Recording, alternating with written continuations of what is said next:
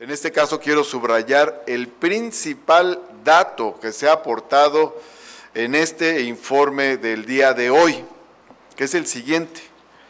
En abril del 2024 tenemos un 50% menos de muertes violentas de mujeres que en abril del 2019.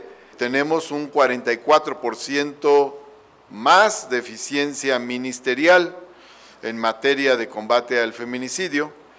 Tenemos un 84% más de personas agresoras de mujeres vinculadas a proceso y tenemos un 95% más de órdenes de aprehensión en contra de eh, presuntos generadores de violencia contra